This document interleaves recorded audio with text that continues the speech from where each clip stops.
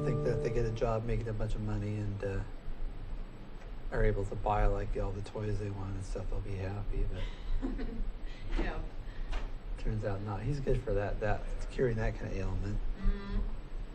I haven't read all of his book yet. I'm in the middle of it right now. I'm gonna try and finish it before the 14th, so I can ask smart questions instead of stupid questions. It's called um, "Stumbling on Happiness." I'm only into like 100 pages. I've got to finish it before. All this, a lot of this, the surveys do of people and they ask them how happy they are, it's kind of Yeah. It's like those. Pe- a lot of people that live in like isolated rural villages, living on subsistence farming. They might be happy about life just because they have lower expectations from life. Mhm. You know what I mean? Yeah. You want me to move on? And they've never And tasted so- like Haagen Dazs ice cream. So So they don't know what they're missing. Happiness, anyways, but find happiness by not even doing anything. Because it really just depends on what kind of person you are and what you like and what you don't like. Anyways, Mhm. um, it's crazy to try and define happiness.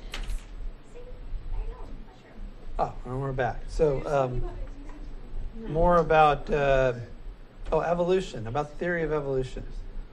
So um, Darwinian evolution, this idea of natural selection, it, uh, is basically the idea you get a random mutation. So you have like uh, cosmic rays, is some sort of organism like a little amoeba or something, and you have uh, cosmic rays come down,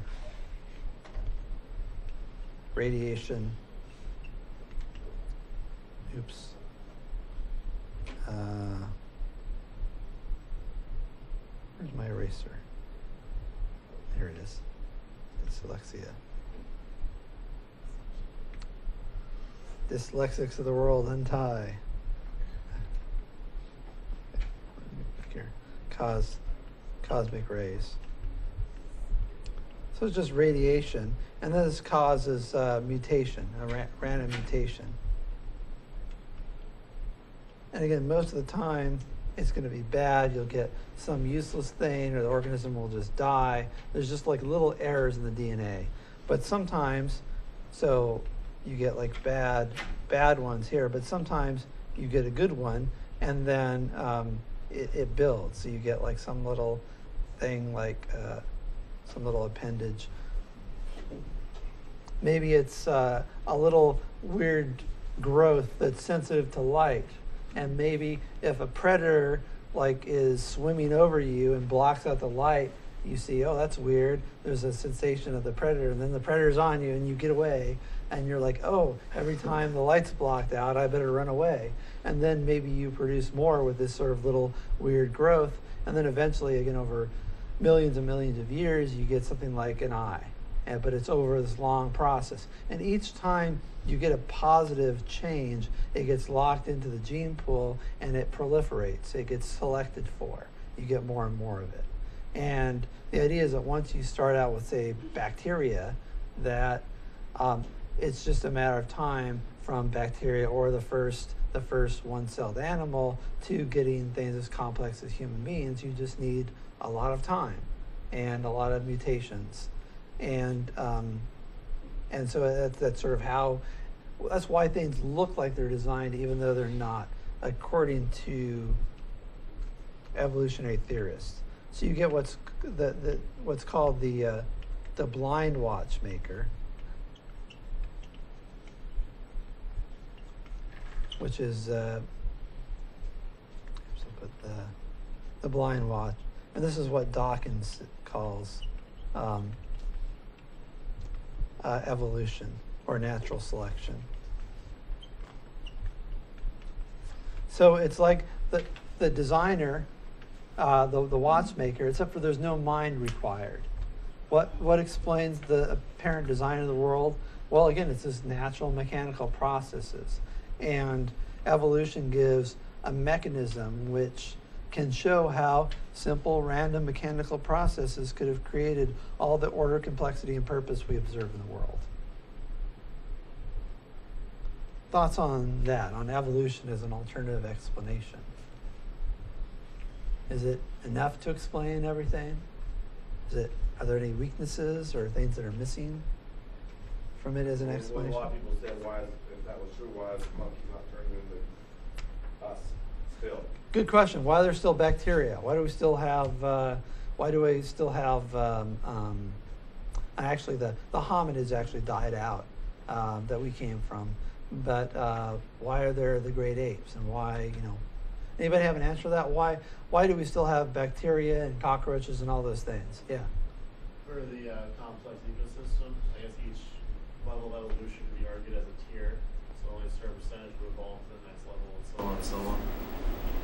Yes, you have the notion of an ecological niche. Ecological. Could it be a genetic anomaly, like why certain things evolved and certain other ones didn't in the same race or type of uh, species?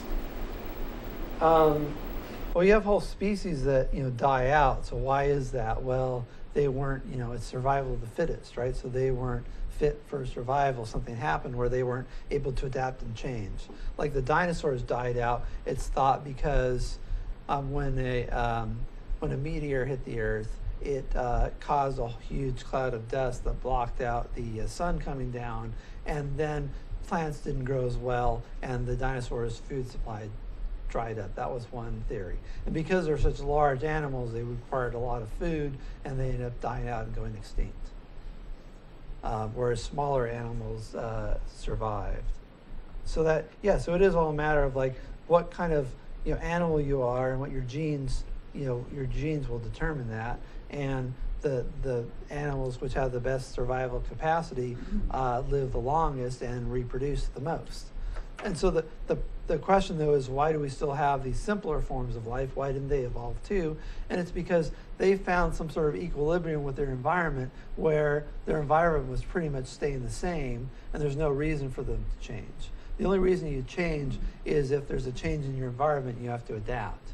And again, I'm using, you know, have to, uh, you know, need to, that sort of design type language. But what happens, like if you're, if you're a cockroach, you're adapted to pretty much any environment. And so the, you're, if you're in a niche where you can get all the food you want, you can reproduce like crazy, oops, in a wide variety of environments, then that you have like a lot, actually a lot of niches. But you think about like a fish. Why doesn't a fish, you know, turn into a frog? Well, because the fish is able to reproduce and live in its environment, and it doesn't have any uh, uh, trouble um, surviving. There's no no major threats to its survival, and so it just sort of stays stuck in that area.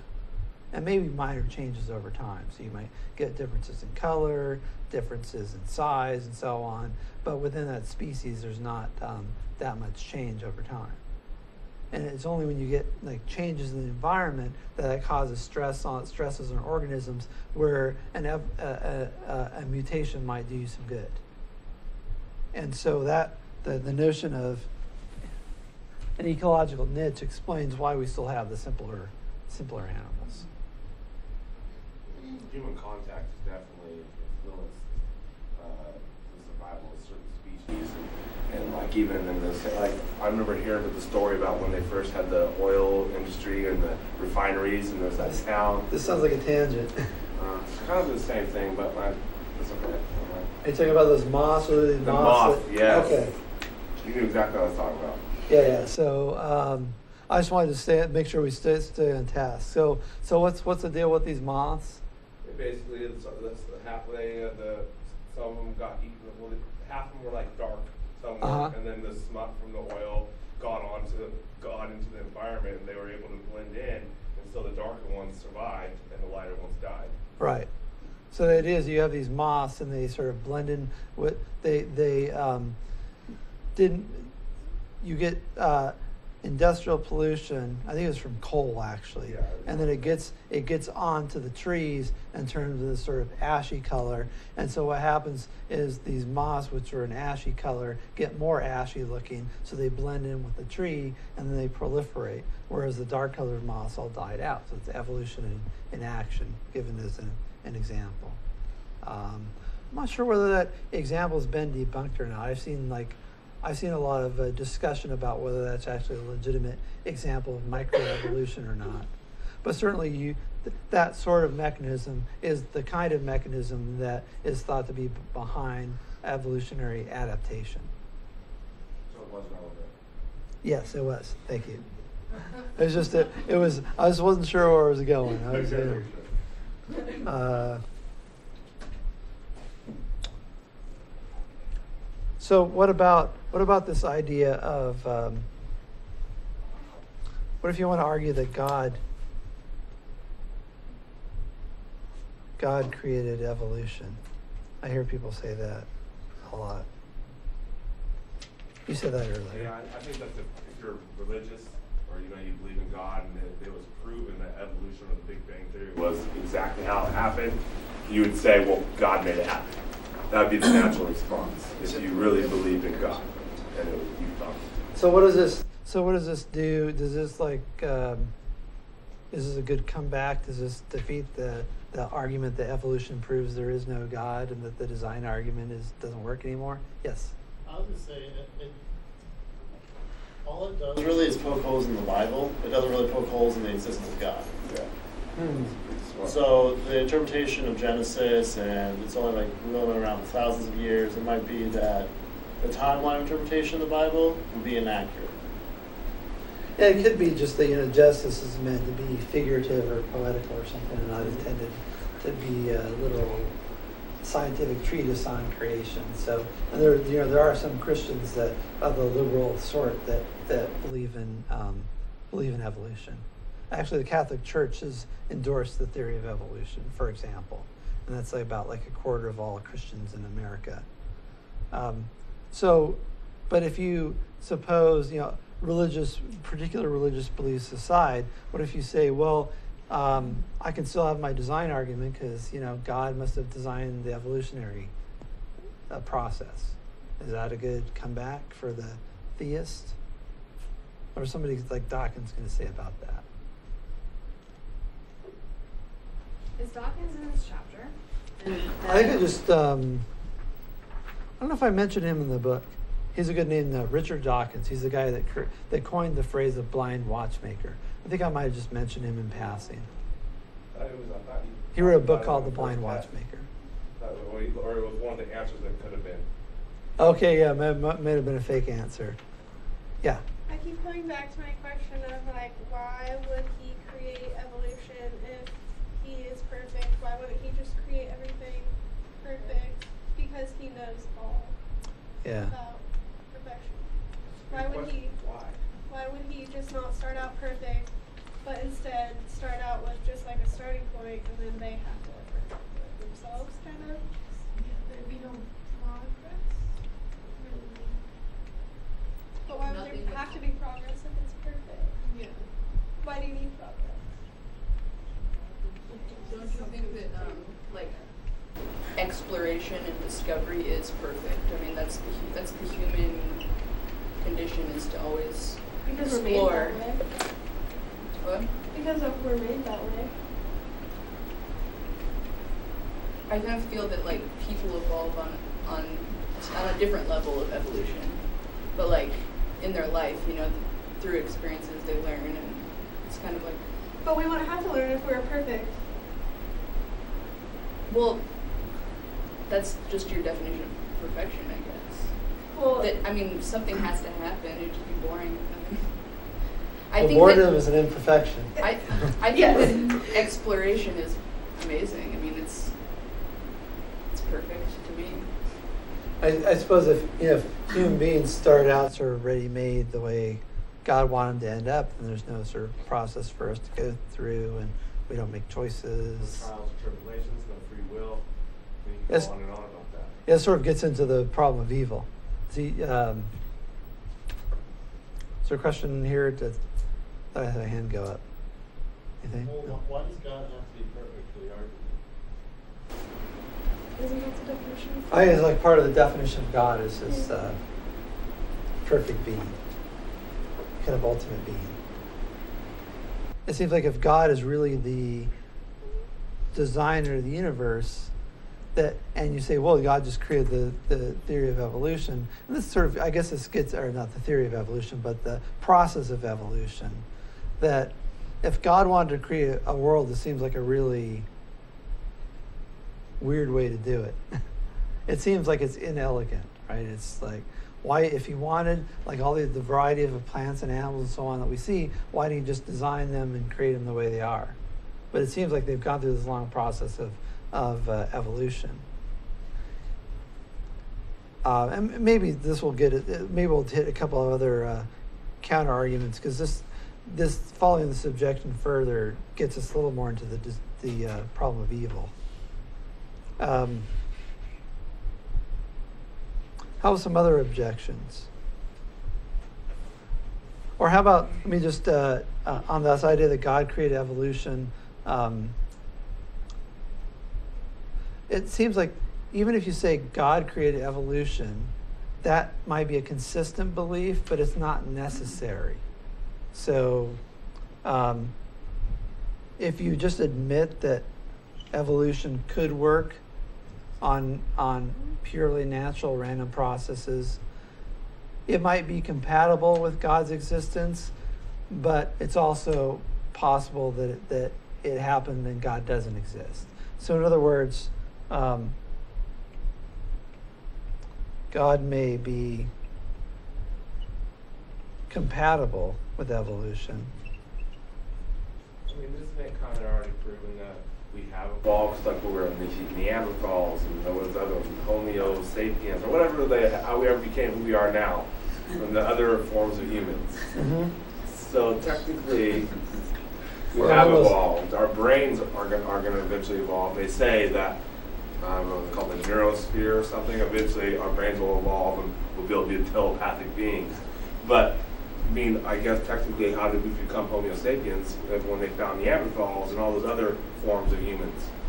Right. So um, you have like the the fossil record. You see animals that look a lot like you know apes. They're called hominids.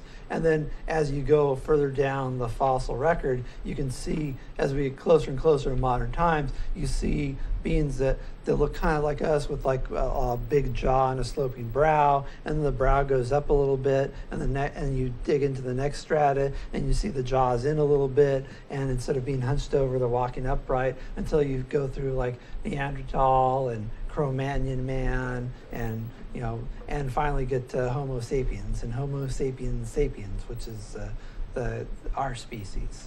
Modern humans. Yeah, and it looks like modern man, you know, went through this process of change, going back to the Australopithecines, I guess, are some of the earliest ones, and uh, Homo habilis, and all those early ones that look very ape-like to modern humans, who who look uh, different, but you can see the the family resemblance and all the intermittent changes.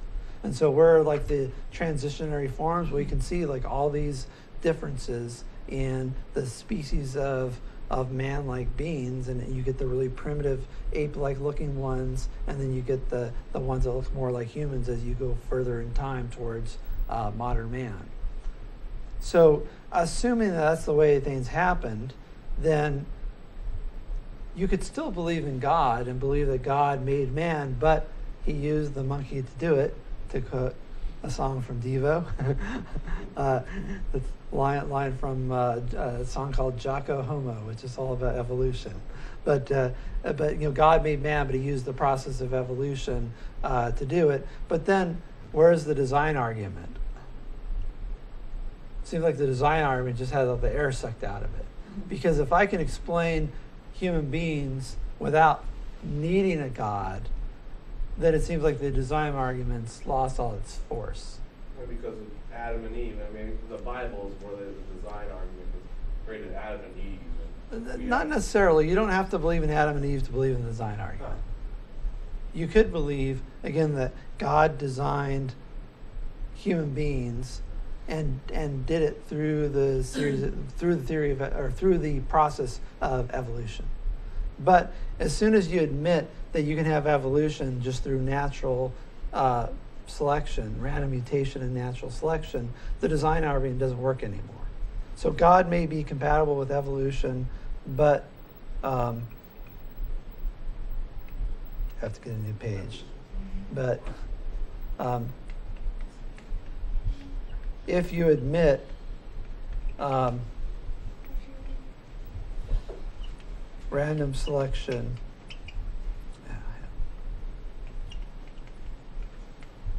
Uh, random selection. It should say nat. Sorry, natural. Random mutation and natural selection. Maybe I'll just put in evolution. Sorry.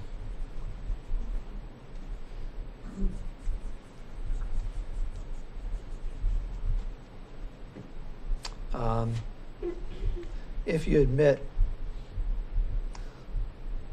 let's try this one more time. Okay. Natural. Natural. Natural. Right? Oh, okay. Sorry. Try it again. Randomization and natural selection.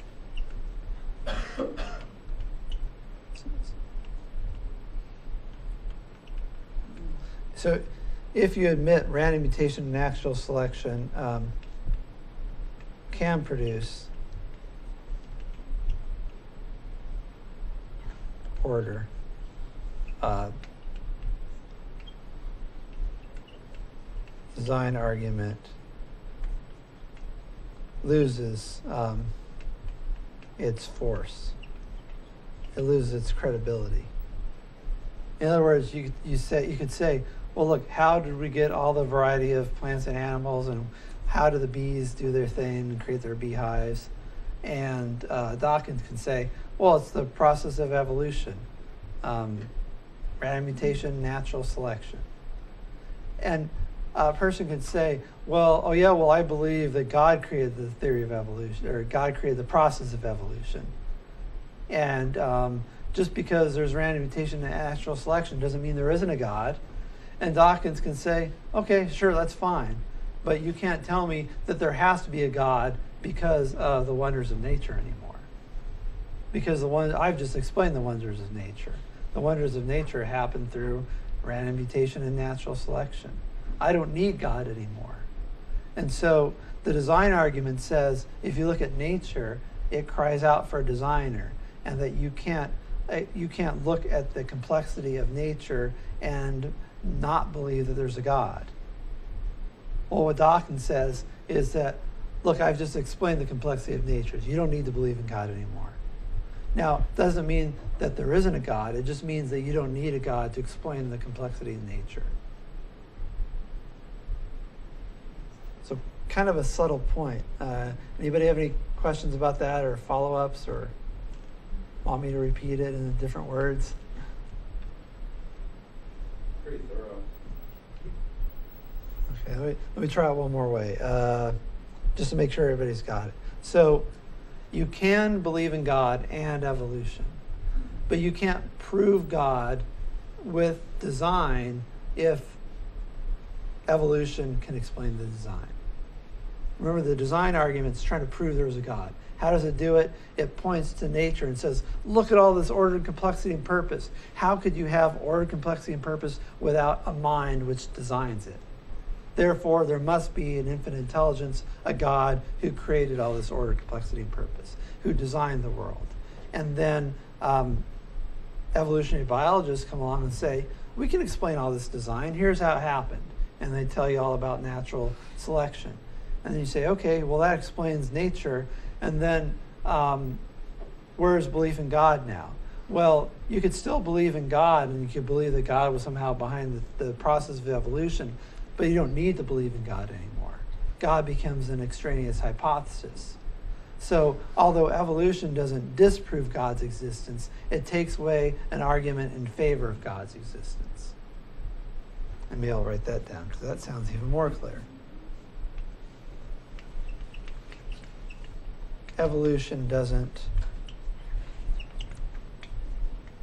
disprove God, but it uh, removes an argument in favor of God. So what about Christian scientists? Now that sounds like a tangent. Well, they believe in they believe in evolution and that God created evolution. Well, you can still believe in it. It's just saying that you I can't know, but- make, use it as your proof. Uh, Christian scientists don't believe in the material world, so. They don't. Well, I'm not talking about Scientology. I'm talking No, no, that's a Christian Science. Okay. It's like uh, Christianity meets Eastern Eastern mysticism. But yeah, so they're just one example of a a, a, a group that believes in um, evolution and believes in God. And a lot of people that believe in kind of a generic God, like I don't know, like a deist, uh, a Mason. You know, people. There's people in America that don't have any particular religious belief, but they believe in kind of a generic God. So, and those people also tend to believe in evolution as well, um, because they don't have any religious dogma they're trying to support about like God, you know, Adam and Eve being a special creation by God and so on. So, many people believe in both God and evolution, but uh, the point is that evolution takes away the design argument. It just sucks the air out of it. It makes it um, uh, ineffective because it's saying here's this thing that you need to explain. If you can't explain it, you have to use God to explain it. And you say every time you see this, there's got to be that. Every time you see order, complexity, and purpose, there has to be a designer. Uh, order, complexity, and purpose are just another way of describing design. So every time you see design, there has to be a designing mind, says the, the design argument. But uh, evolution says, no, here we, I can explain the design through these random mechanical processes. If I can do that, then you don't need God. Uh, some ca- some counter arguments from David Hume from the reading. Um, so he says the universe is not like a, a, a watch, but the universe is like a vegetable. like a giant tomato, a giant potato, a giant turnip, or what have you, right? So, and so he says the universe is a vegetable. How how do vegetables reproduce? Well, um,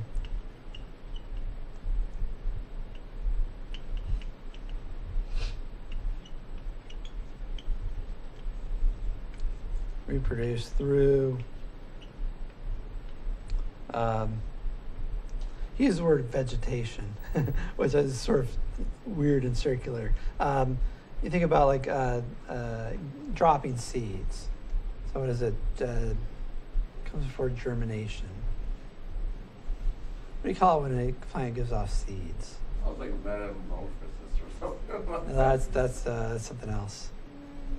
Is like the universe is I'll just put um, through seeds. I'll just put seeds. I can Google it for you if you want. Ah, Googling things like that can be actually hard because you got to know what you're looking for. Um, so the universe, uh, so, so vegetables produced by seeds. Therefore, the universe came from seed.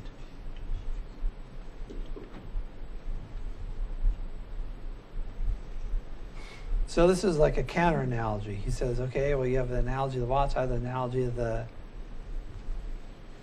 turnip, the analogy of the squash, the analogy of the pumpkin, right? So every time you, you know, what happens when you have a plant? Well, like it drops its seeds, they go into the ground, and they produce new, new plants, right? That's, that's how plants reproduce. Well, why can't I use this as my model for the universe? Why do I have to use like a mind? Because they're the order, complexity, and purpose in the tomato. Where does it come from? It comes from other tomatoes. So, why uh, this analogy? And Hume says this analogy is just as good as the uh, the analogy of the watch.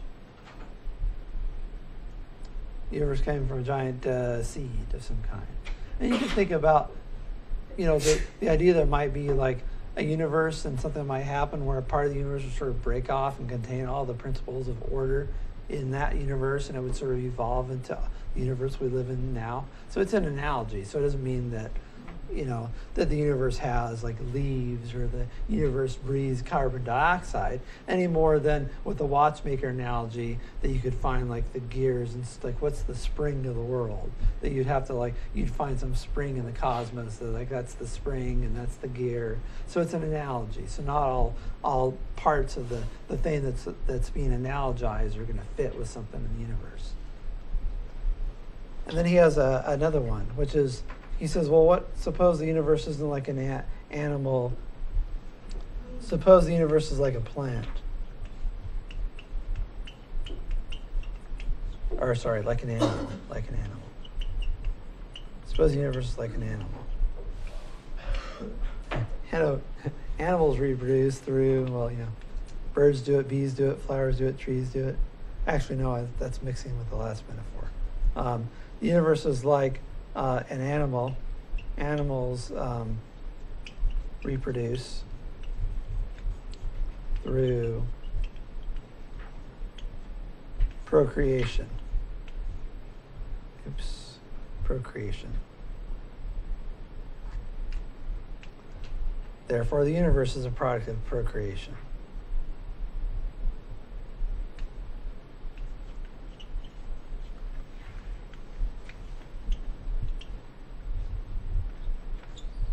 Universe came from procreation. I'm going to abbreviate. So, what happened? Mommy and Daddy Universe got together and they produced Baby Universe. All the time, Mother Nature. And Hume says, okay, you might say this is a ridiculous analogy, uh, but how is this any worse than the watch analogy? The idea that two universes sort of had some kind of interaction that produced a third universe. We see it like animals, and animals. Uh, where does the order of um, of a little kitten come from? How did it get its uh, it, you know its fur and its paws and its uh, cute little purr and all the, the you know the, the tail and and its structure kitten structure and all its behaviors? Where did it come from? Well, it came from its parents, right? Its two its parents had had uh, uh, sexual reproduction, and the mother gave birth to the kitten. And there's the kitten, and it recapitulates all the uh, um, structures in its parents, its genetic structure. Well, why couldn't the universe be like that? So that so Hume offers these two counter analogies not because he's trying to offer like a, a real alternative explanation. He just says that the analogy is weak, and these these counter analogies are equally as valid. But you know, I think the idea is that these are ridiculous. But can you think? And so just if you think these are ridiculous, you ought to think the watch analogy is ridiculous too. So that's why he made these analogies to kind of prove or to make you think about the other analogies. Right. Yeah. So what? Now, what if, um, what if you try to say, well, look, God designed the vegetables and the animals too, so the, these analogies aren't any good.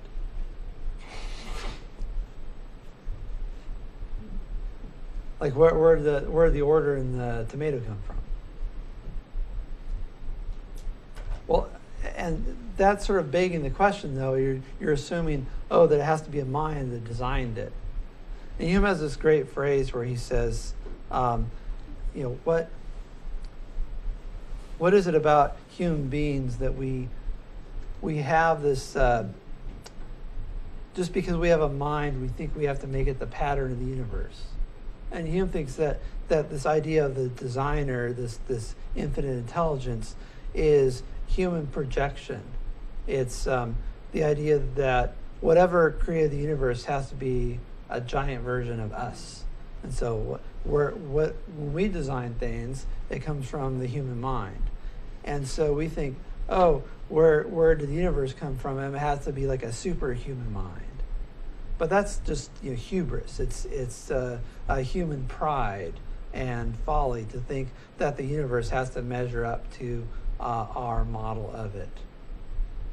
Instead of you know looking at the universe objectively, we think, oh, I create things with my mind. Therefore, whatever created me has to have a mind that's like mine. And he says that's a, sort of a biased, subjective way of looking at things. Um, other, can you think of other arguments against the um, design argument?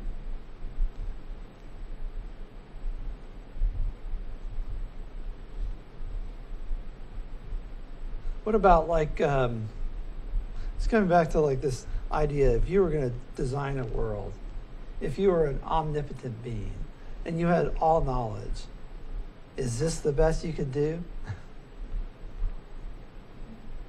and Hume actually talks about you know that basically that God is is um, you know if if there is a designer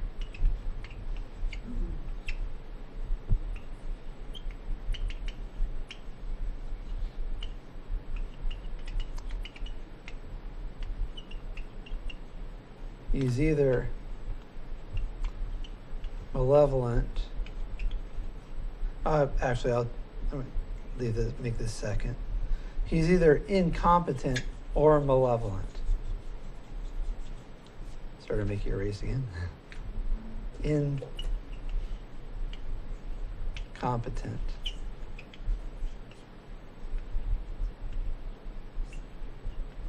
Or malevolent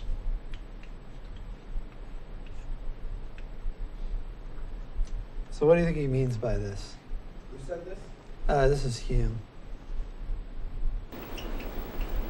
I think he's incompetent because think about like you think about the atmosphere and how Uh-huh. it protects us. Like if, even if a meteor comes into it, I guess sometimes most of the time it, our atmosphere will burn it up, or you know how it itself, you know, it heals itself, and it has for millions and more billions of years, I guess.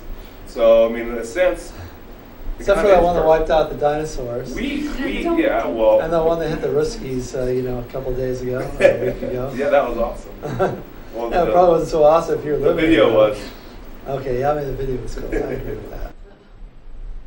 But yeah, I think about okay, so the atmosphere, you know, is protect us, except for that one that wiped out the dinosaurs, and occasionally they think like the Gulf of Mexico was probably created by a meteor, so they get it on occasion. But maybe the atmosphere like screens out most of them. Okay, but think about like what parts are like are of the Earth are habitable really.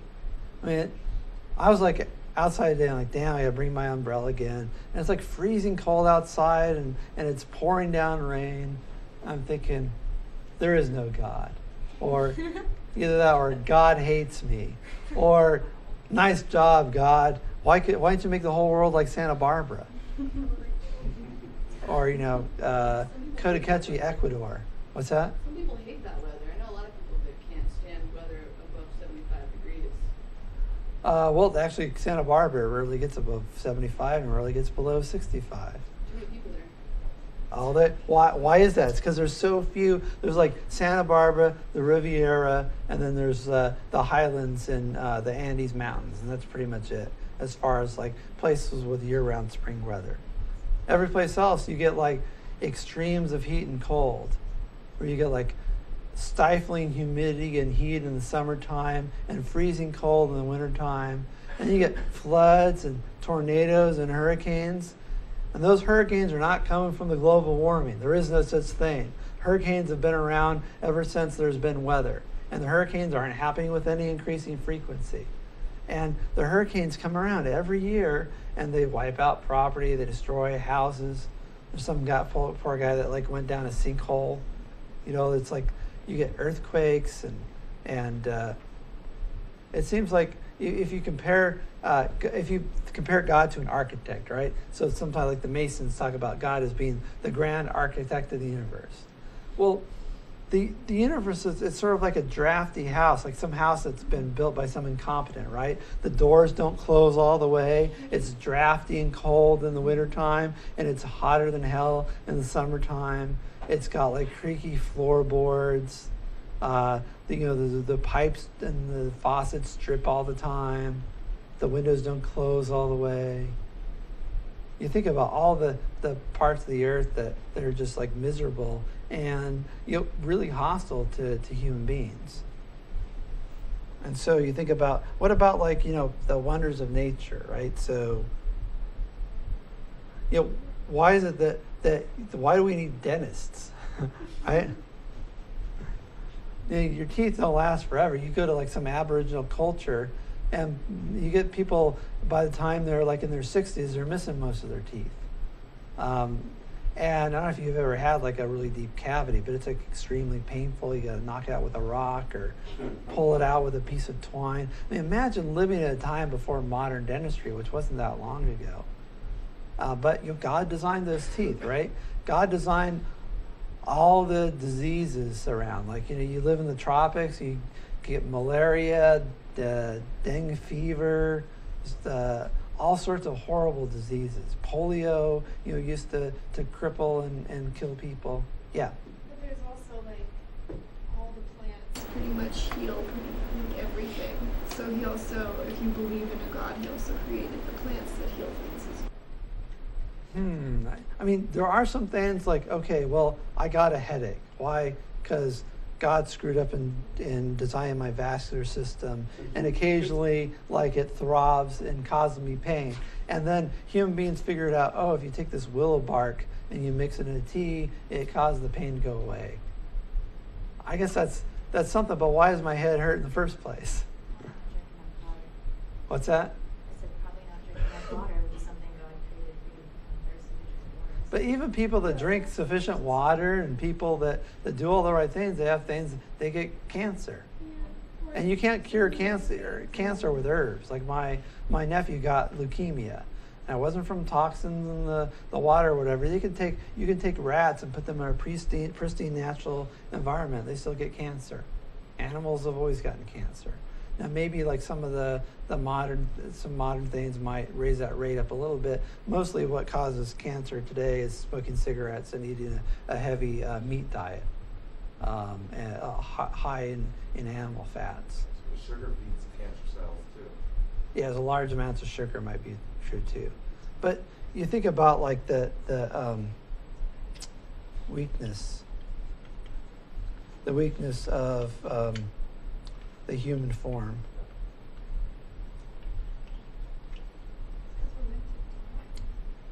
Well, but, but also meant to fall apart before we die.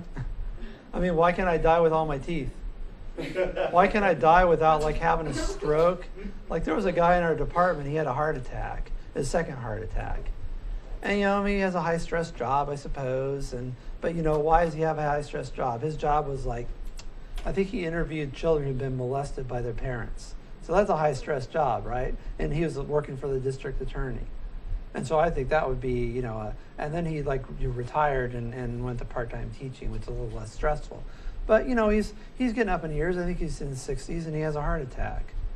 Um, and then and then he has a he, he you know does all the his doctor you know puts him on some drugs and and gives and he's got a good diet and exercise and so on. And then he has another heart attack, right? And then then you get people that have strokes and heart disease and cancer. I mean, all these diseases, and they start coming in in middle ages or in middle age, and and uh, it's not like you just die quietly in your sleep by the time you hit a certain age.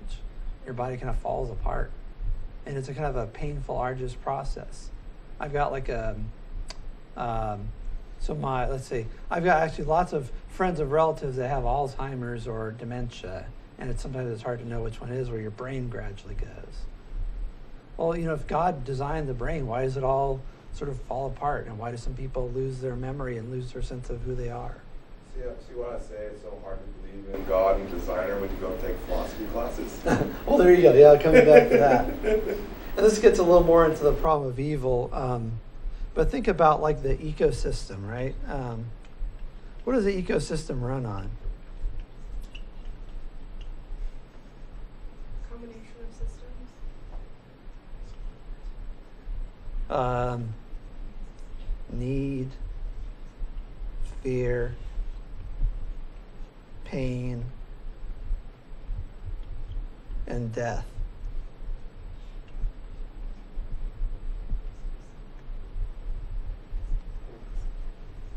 Um, I'm trying to think of a good example of uh, could you imagine what it'd be like to be eaten alive? like to, to be like knocked down by some wild animal and to have feel the animal's teeth tearing into your soft underbelly and pulling out chunks of your flesh and your intestines being pulled out in front of your eyes and thrashing around trying to get away but uh, realizing that, that you know that you probably wouldn't be able to so that happens like every day in the jungles right you get some zebra and maybe he's a little slower than the rest of the zebras, right? And you have these animals, and they're prey animals, and they chase down the, the slowest zebra. Maybe he's a little old. Maybe it's like a young, uh, like a young, uh, uh, uh you know, a juvenile. Knock them, lock him down. You know, and sometimes it'll be a quick merciful death, death if, if like the, the animal goes for the jugular first. But often what they'll do is they'll sort of pin him down, and you see this animal thrashing and kicking its feet, and it goes for the soft underbelly and just takes a big bite out of uh, the animal's gut and tears it. And those teeth are like intended to, to tear, right? And, and, and eats the animal alive. And this happens in nature every day. Animals eating other animals. Do you think those animals feel what what you know, they have nerve endings. They have the same sensations we do. Animals feel fear. Animals feel need. Think about all the cold little kittens out there in the world that God's doing nothing about. Right? Think about like you think, oh, some people like the we- this kind of weather. Well, I'll guarantee you that all the feral cats out there in Eugene, they're hating this weather right now. Yeah, feral people too, I guess, right? But but the um, but the stay stick with the cute little kittens for a minute. So like my wife feeds these uh, feral cats. You know, if she wasn't feeding them, they would have lives of want and deprivation. They might survive, they might not, but she feeds them. You know, we have like a little dog house in the, the backyard with a little, you know, blanket in there for, for them to go into when it gets cold to sort of huddle down.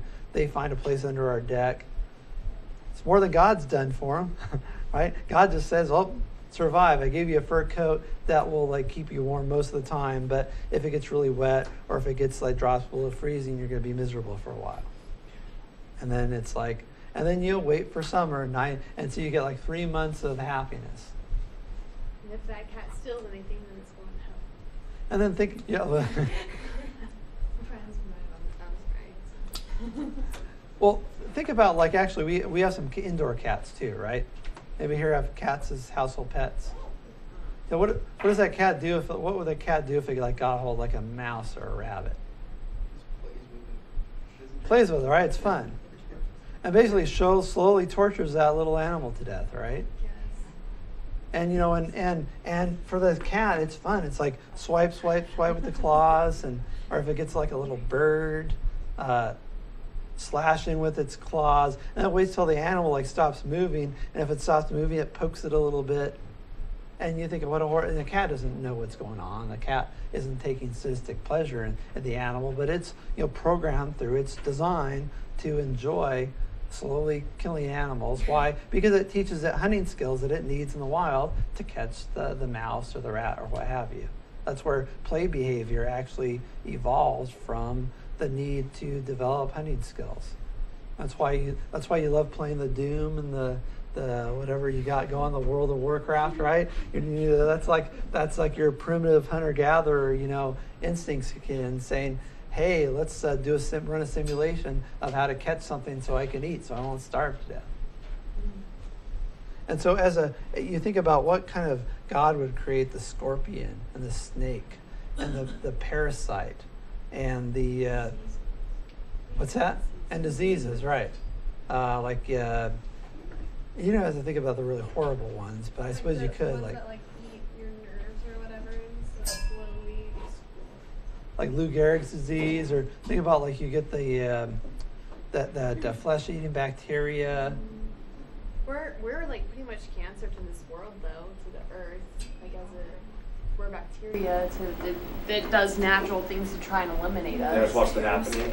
I don't You know. guys ever seen that movie? Well, I was just about yeah, bacteria. That seems like a like a value judgment. Like, it, does the Earth have consciousness? Does the Earth know we're here? It has living things on it. Yeah, but I don't think that the Earth, like the Earth, it's not like the Earth's trying to get rid of us, or the Earth is even a living thing. It has living things on it. I don't know about that. Like human beings is a cancer. I'm not sure what that means. It seems like it's a value judgment. Like human beings are bad. We just, Need to get- don't. We just, we've just been destroyed. A lot of things on this planet, a whole things just destroyed that have naturally been there and naturally occur there. And things like fires or, you know, tsunamis. I mean, those are natural things that wipe us out. But why have we've been doing that is because hey, you need a fire to keep warm. because you need to build houses so so life doesn't suck when you're living in these northern latitudes. And we're trying to adapt just like every other animal does, using the best tools we know how. Human beings also replanted a lot, a great great deal of forest, preserved species, and so on. So I, I don't know if I agree that we've despoiled the planet.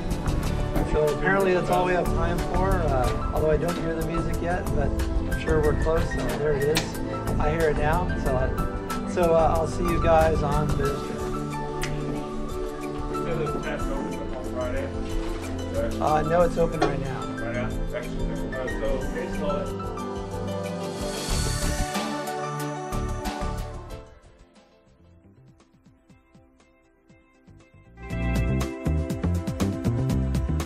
Online. Learn,